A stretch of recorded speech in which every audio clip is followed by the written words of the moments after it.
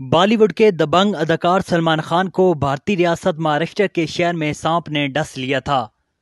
भारतीय media reports के मुताबिक सलमान खान हफ़्ते और इतवार की दरमियानी शब अपने फार्म हाउस में मौजूद थे, जहाँ इन्हें सांप ने डस लिया, जिसके फौरी बाद इन्हें मुंबई के एक निजी अस्पताल में मुंतकिल कर दिया गया था।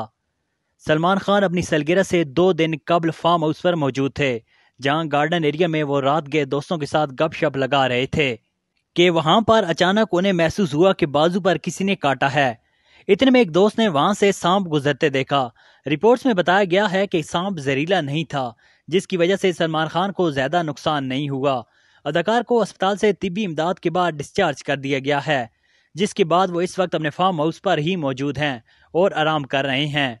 वाजर है कि सलमान खान की सलगिरह सताईस दिसंबर को होती है, जबकि दूसरी जाने बॉलीवुड स्टार सलमान खान ने गुजशत और शाम के डसने की कहानी खुद ही बयान कर दी। भारतीय मीडिया से गुफ्तु करते हुए सलमान खान ने वाक़े से मुतलिक बताया कि शाम जब मेरे फार्म हाउस में घुसा तो मैं ऐसे देख चुका था।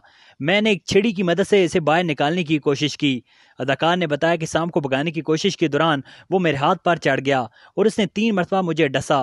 वो एक जहरीला सांप नहीं था। मुझे छः घंटे अस्पताल में रखा गया। अब मैं पहले से काफ़ी बेहतर हूँ।